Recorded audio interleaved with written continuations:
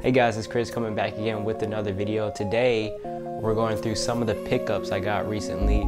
Some of the stuff is a little bit older, some of the stuff is a little bit newer, but I just felt like I was going to throw it in all together in this video just so I can show it off to y'all. I'm gonna try it on for y'all with some fits, just so you guys see how it looks and how I wanted it to fit on my body with proportions and just the overall aesthetic I'm trying to achieve. So, boom, nothing too crazy. This is definitely nothing light, but this is a nice little package. I think first things first, I'm gonna just dive into the fun stuff, shoes. Chuck Taylor 70s, this is a canvas material on these. So I wanted to pick up these because they are literally a living essential. If you don't have a pair of Chuck Taylors in your closet, like what are you doing? I feel like my style has turned a lot towards not trying to get off those pieces that are like super flashy. Don't always have to pop off and like wear some crazy off-white shit like. So you might as well just like settle down and get stuff that you like enjoy casually every day. These are canvas. This is the olive colorway. This just always look good when you mix like an eggshell color with a solid next to it. It just pairs together so perfectly. Boom. Next up is, everyone knows this brand, Salomon's. Yes, sir. This is the white lunar rock.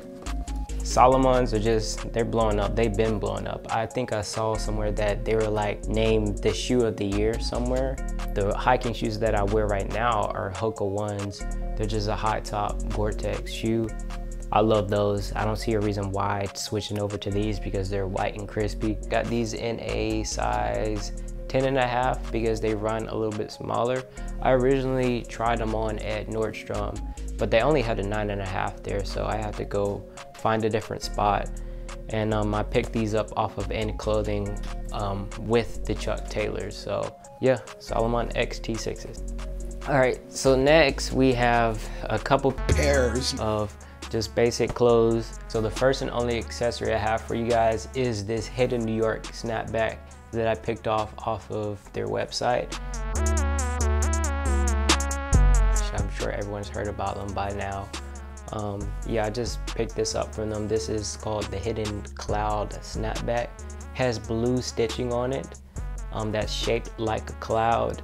And yeah, it's just overall gray. Fits really nice. I like it when my hats are really sturdy.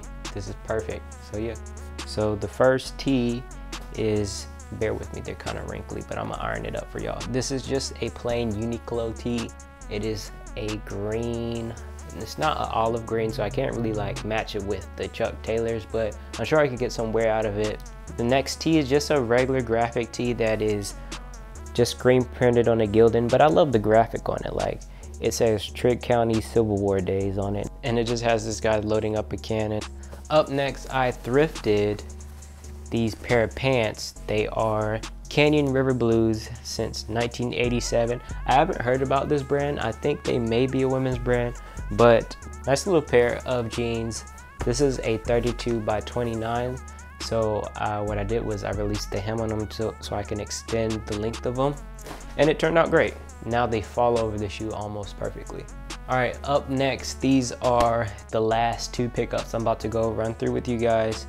They are both from Cody Phillips. If you guys seen my very first YouTube video, I talked a little bit about him and his brand and just the crazy shit he's doing right now. He actually reached out to me to model these pair of curve jeans that he released not too long ago.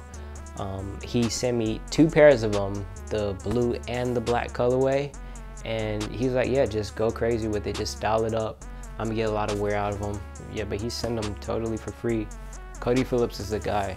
So that's all I have for you guys today.